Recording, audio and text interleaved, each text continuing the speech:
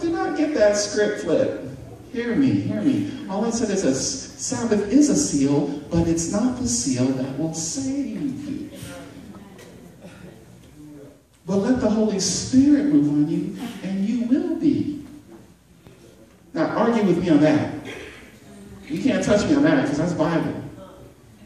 Save you until the day of redemption, seal,